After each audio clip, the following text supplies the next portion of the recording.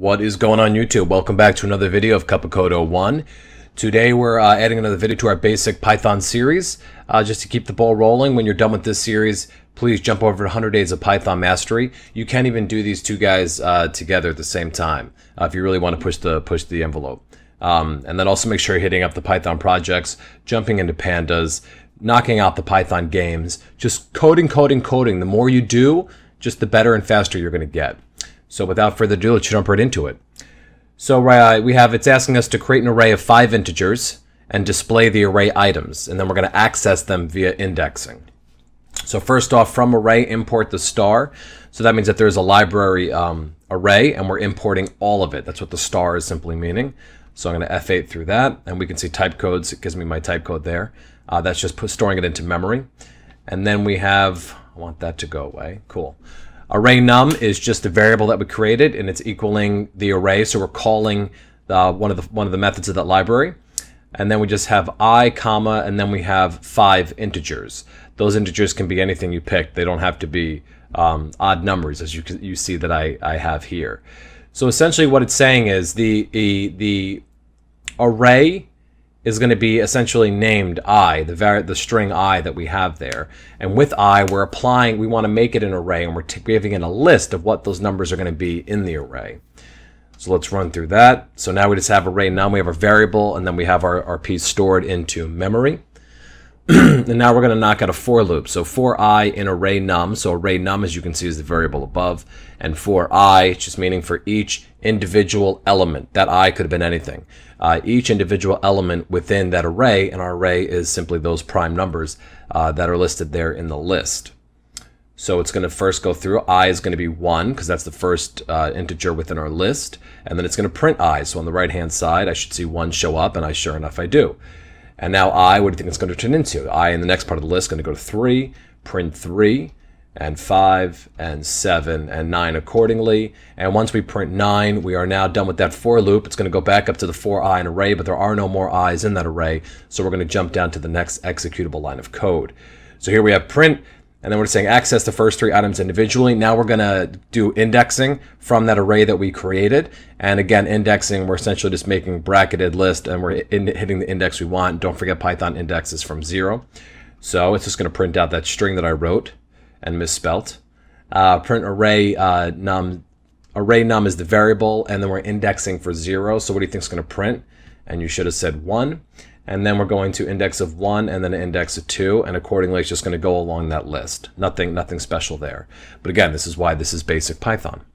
Uh, next part, append a new item to end to the end of an array. So uh, appending is simply meaning adding. Uh, we can also remove. There's other other functions we can utilize within Python. So first off, it says print, and then we're putting in a string starting array, comma array num. So when I F8 through that, you're going to see on the right-hand side, we printed the string starting array, and then we had the variable array num, and it printed out that variable, which is exactly what we have there. The variable i with the array method from that from its library applied to that list. And then we have array num dot append 11. So append means we're using the append method on the array num uh, variable. And then we have 11 in parentheses.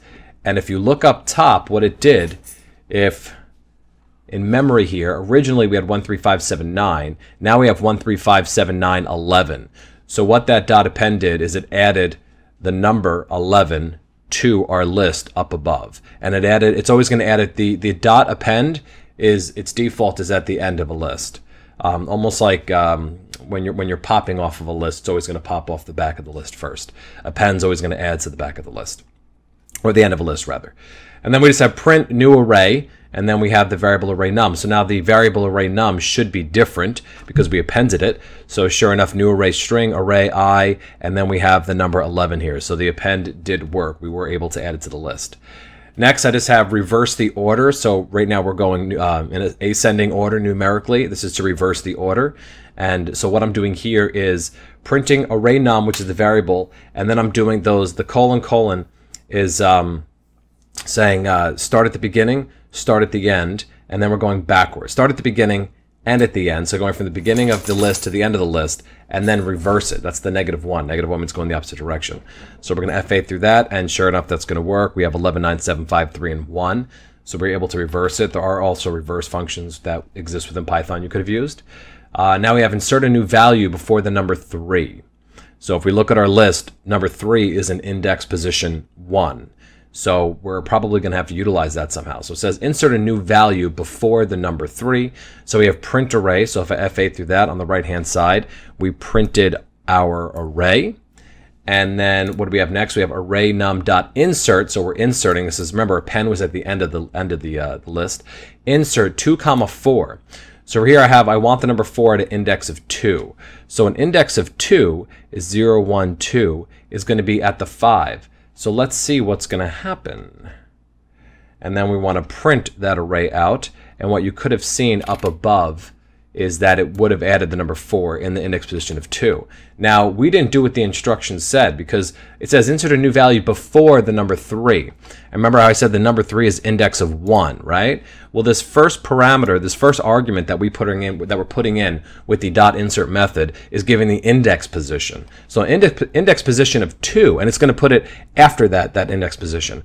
Or rather it's going to um, it's going to make that excuse me, it's going to make the number we're putting in the index position. So what I'm saying here with 2 comma 4 is I'm saying I want the number 4 at to be at the index position of 2. So what's at the index where is 3 right now? And I said put it at before the number 3. 3 is existing at index position 1. So if I wanted the number 4 to be uh, before 3, then I would want index position 1, comma 4. That would have then placed the 4 before the 3 because it would have made 4 index of 1. So then I would have had 0, 4, 3. So that would have been then it would have been appropriate. Um, so i will I'll keep that the way it is there. And if you want, I'll even I'll even run that for you. Um, print array run. We'll put a correction just so we can see exactly where it is when we are running it. So here I have correction array, so you can see what, whoops, sorry, uh, 143579111. So just by changing the index, index position, it puts the 4 or whatever number we're putting there into the appropriate spot in our list. So that is the dot insert. Uh, still moving through, we have remove an item from, from the list via indexing. So uh, if you remember I mentioned before the pop method, uh, if you leave this pop empty, if I left it like this, then it would have popped off the last element, which would have been 11 from our from our list. But if I'm putting uh, 3, it's going to array num is our variable dot pop, and 3 is so from the index position, whatever is at index position number 3 for array num, remove it. So if we look at our list, 0, 1, 2, 3, then we should be popping off a 5.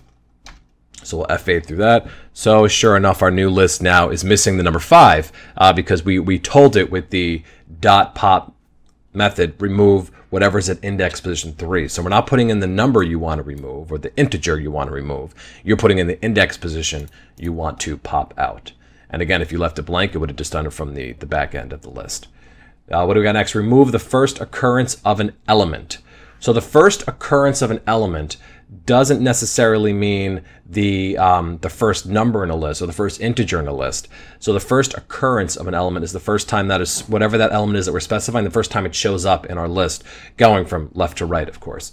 So we have new array. Let's f8 through this. We're going to have a new variable that's made. So we have new array, an array uh, named i.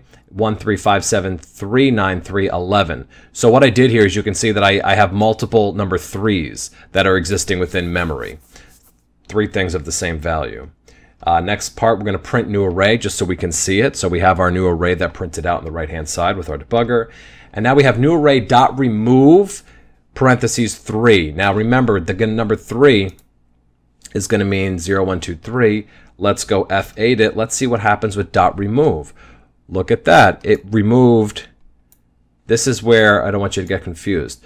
So look at, this is where let me make this straight. I'm going to slow down my speaker for just a second. If you look at dot pop, we put parentheses number three, and it had nothing to do with the integer. It had to do with the index location.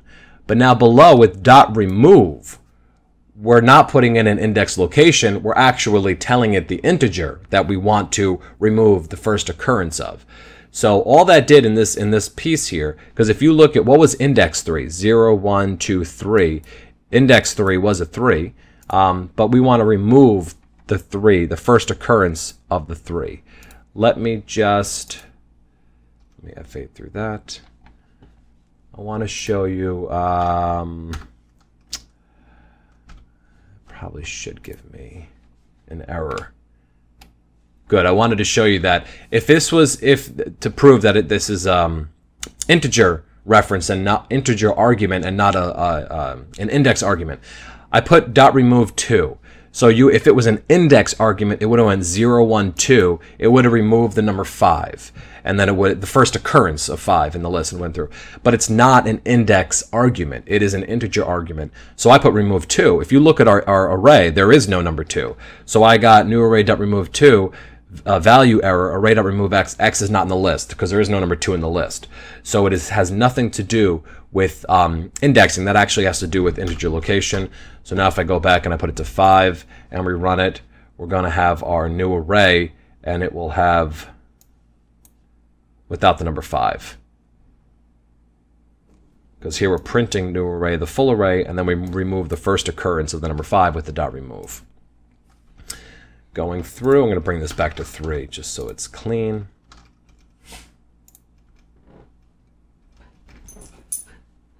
And then down below, last we have convert an array into a list. So as you can see, we have our array, which is named i. We put it in as a list. But there are different there are different uh, things you can do with arrays and lists and vice versa. So sometimes you may want to convert it through.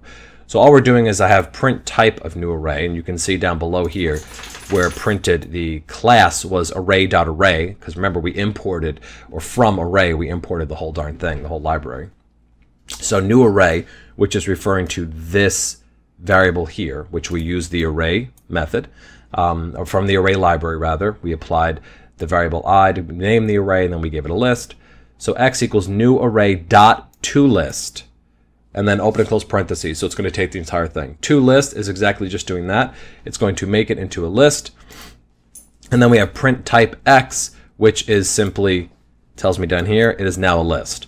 So we went from print type new array and then print type X, and it tells me we went from array.array, which is the library we imported, to uh, type list.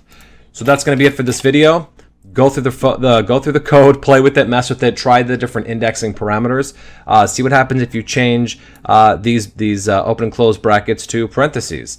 Um, see what happens if you just put open and close parentheses with array num. See what happens when, when you do that. Uh, play with it, have fun, and I will see you guys on the next video.